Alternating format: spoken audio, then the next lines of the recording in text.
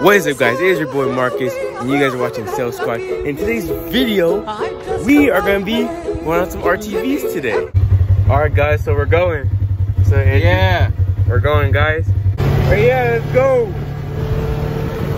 Yeah. Yes, she is.